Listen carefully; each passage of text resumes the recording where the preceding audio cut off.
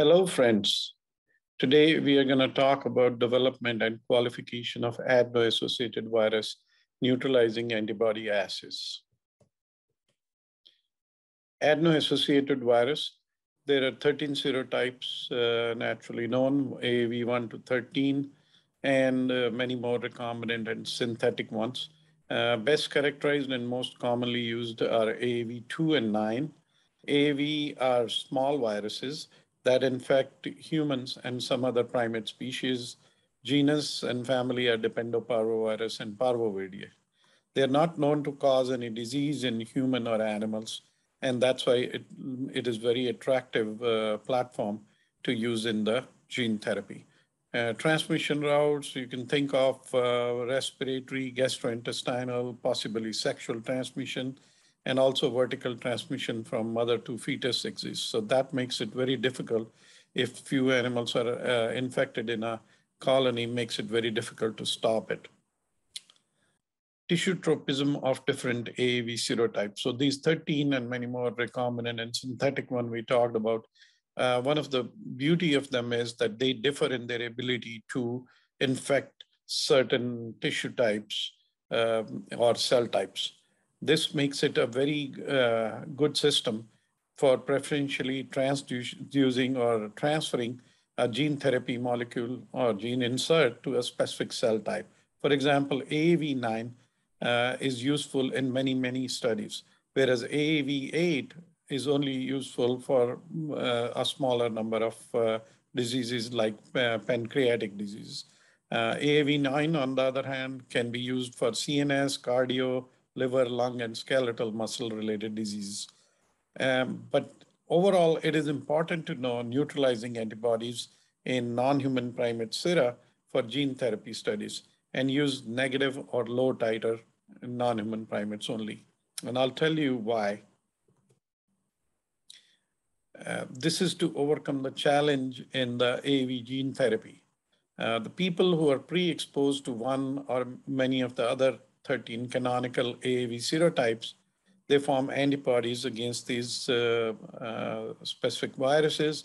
And uh, these, uh, the antibodies, uh, including the neutralizing antibodies, circulate in the blood, which can prevent the delivery of AAV viral vectors to the appropriate target tissues in the body, which can compromise the clinical success of the, uh, these gene therapies studies.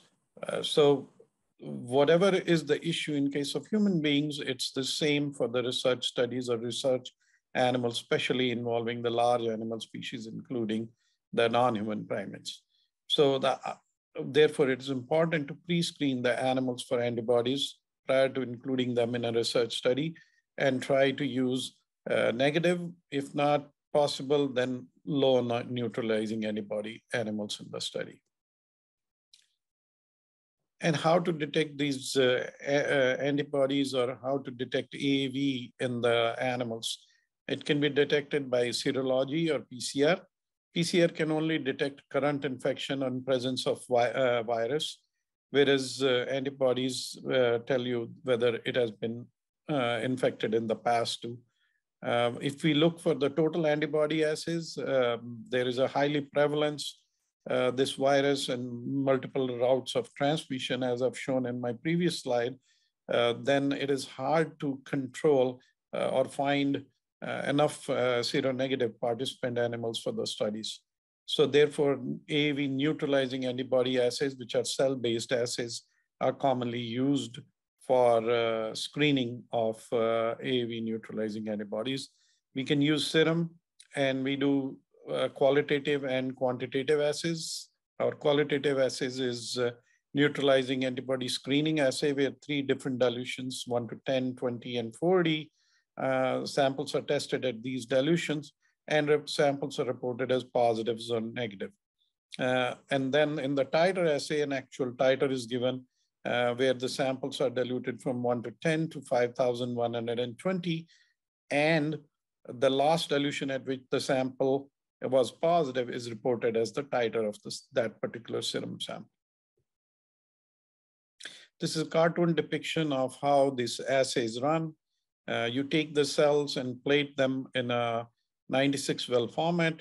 with the AAV vector um, uh, using a promoter, which can be CMV, CAG, and, and of course, a reporter uh, like luciferase or GFP.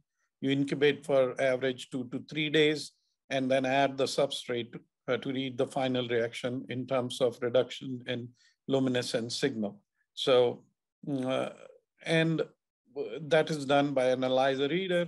If antibodies are present in the serum sample, they will compete and will not let the vector release the uh, luciferase, uh, uh, and then uh, there will be a reduction. So overall, greater than or equal to 50% reduction in luminescence signal can uh, be called as positive. So the samples uh, showing the reduction greater than or equal to 50% in luminescence signal are called positive. AAV neutralizing antibody assay optimization. Before we actually did and developed all these assays, there is a lot of optimization which has gone into that one, including the evaluation of cell lines, cell passages, medium optimization, uh, time of incubation, which can vary from one to four days. We wanted to see how far we can go, uh, and then multiplicity of infection. But most important of all of them is vector optimization or vendor selection or a particular lot of vector selection or evaluation. Here is some of that data. Uh, here is the, the graph on the left-hand side shows that um, uh, AAV9 vector was incubated with two different cell lines, HEK293 and HeLa cells. And then, uh, as you can see, there's a two-fold difference easily between the uh, two cell lines.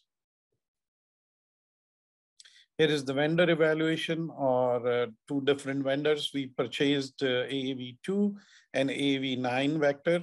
And uh, then they were run on the assays. And as you can see, the vendor two had very high signal compared to vendor one, uh, which is the brown bars. And uh, for AAV2, it was a tenfold difference in signal, but for AAV9, actually, it was a hundredfold difference. So that, that suggested a poor quality of reagent from vendor one, as it did not in, uh, do not increase uh, the signal with time even. It's important to evaluate or pre-screen the vendor for better signal and assay reproducibility.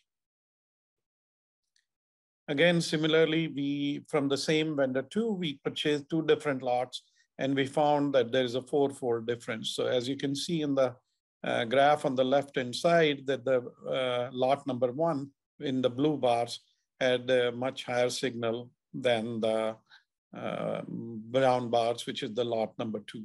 So, which confirm that even from the same vendor, you may have lot to lot variation, uh, thus confirming it is very important to evaluate or pre-screening uh, different lots from the vendor to determine appropriate MOI for assay reproducibility or assay RLU values. So once we were finished with the development, we have done the assay qualification. And uh, the final qualification was done by multi-tech, multi-days, two-tech, three days with same known negative and positive samples. Uh, but first we did analytical sensitivity, the LOD between two technicians, analytical specificity using multiple uh, antibodies for different serotypes, and uh, testing with AAV2 or 9. And then uh, for diagnostic sensitivity and specificity, as I've mentioned above, that multi-tech, multi-day uh, with eight known negative and eight known positive samples to check the diagnostic sensitivity and specificity, in addition, reproducibility and ruggedness. And the report is also available on our website, Charles River website, criver.com. So to compare the analytical sense, uh, sensitivity of AAV2 LOD titers between two texts, we uh, diluted four samples from starting from 1 to 40 to 5,120 with a total of eight dilutions. As you can see, the uh, pattern of uh, curve looks similar and all four samples cross the neutralization threshold within one to four dilution of each other. As you can see in this uh, table, here is the actual uh, numbers. Uh, they, they were within twofold of each other. As far as specificity was confirmed, uh, concerned for AAV2, you can see two uh, different dilutions of uh, uh, serospecific uh, antibodies were used, 500 nanogram and 15.6 nanogram per ml. And AAV2 suppressed signal at both high and low concentration, whereas no change with the rest of the serotypes, making it AAV2 specific in picking up AAV2 neutralizing antibodies. However, we saw that at higher concentration, there was a little bit of difference uh, uh, at 500 nanogram. So although uh, AAV9 is uh, specific in picking up uh, AAV9 neutralizing antibodies at higher concentration, we may see some cross reaction, including AAV with AAV8 and AAV1. Overall diagnostic sensitivity and specificity was 92% and 100%. Um, and one non-positive was borderline between 45 to 55% RLU signal. And that's why you can see that sample uh, caused the sensitivity to drop a little bit. But overall, the signal and scores between the two uh, technician were very similar for individual samples between three runs. I haven't shown that data due to uh, positive time. There are uh, multiple resources available uh, for, for related to these, the AAV neutralizing antibody assays. You can go on our website, criver.com, and through uh, our LIMS system, LTM, uh, we can, you can order the screening and titer assays. Uh, we, right now, AAV2 and 9 assays are available in uh, next month, April, um, AAV RH74 and AAV8 will be coming and sample submission details are there. Uh, you can submit serum only 0.25 ml per serotype and corresponding uh, PCR assays are also available for all of these serotypes. Um, also, there's a blog online uh, on our website there's a whole page with a lot of other details, including a technical sheet, uh, a lot of uh, qualification reports uh, and other data uh, is available on that one. To summarize, uh, AAV2 and new nine neutralizing antibody screening and titer assays were developed for routine screening of NHP samples developing uh, neutralizing antibodies for other serotypes. I mentioned about AAV8 and RH74, which will be available uh, soon. Analytical as well as diagnostic sensitivity and specificity of AAV2 and AAV9 neutralizing antibody assays were very high as demonstrated in the multi-tech multi-day qualification study. And data from six runs performed by two techs on three different days in the study was similar, confirming high reproducibility and ruggedness of the assay. So overall, AAV2 and AAV9 neutralizing antibody assays can be used for routine pre-screening of NHPs before undergoing gene therapy studies. And if you have any questions, here is my contact information and Charles River contact information.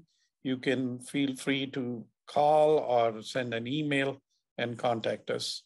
Thank you very much and thank you for listening.